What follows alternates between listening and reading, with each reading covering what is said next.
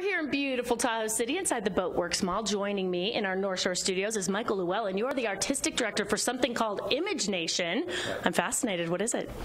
Image Nation is a Nevada County Arts Council Veterans Initiative in the Arts project that is a collaboration with our local veterans organization, Welcome Home Vets.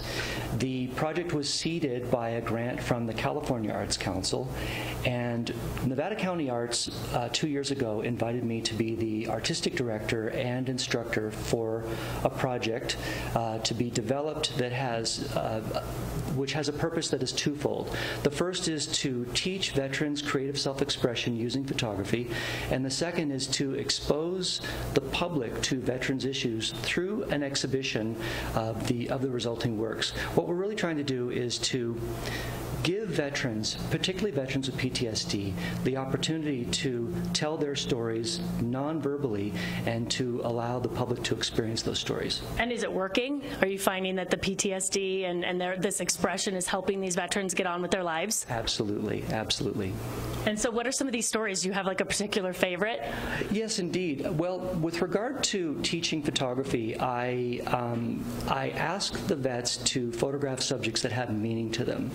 So, for instance, one of our vets began by just taking photos right outside his front door, and over the course of time, the angle of his camera began to tilt higher and higher into the sky. And at a certain point, he realized a few things. First of all, as a child, he really loved the sky. He loved flying kites, he loved finding animal shapes within the clouds, but then he also realized that his Vietnam experience caused for him to fear the sky.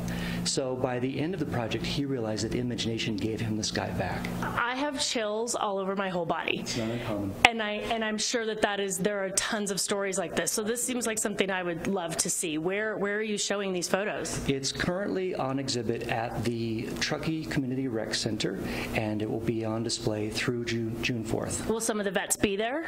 Yes, indeed. Of course, right? And so what's the future for this? Are you going to do this some more and do it again?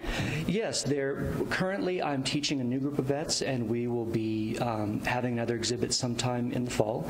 But also um, on Memorial Day, uh, the Truckee Public Arts Commission will be participating in a ceremony honoring veterans that begins at the Sierra Mountain Cemetery and then culminates with refreshments at the Image Nation exhibit back at the Truckee Rec Community Rec Center. And this is on Memorial Day weekend. Yes, indeed. And there's one more thing that's happening. Um, on August 28th, Inner Rhythms Dance Theater, um, Inner, Inner, Inner, Rhythms Dance Theater Group um, is creating a is giving a dance concert uh, that is inspired by and also features the work of Image Nation. So that's awesome. very exciting. Okay, so where do we, tell me the website real quick.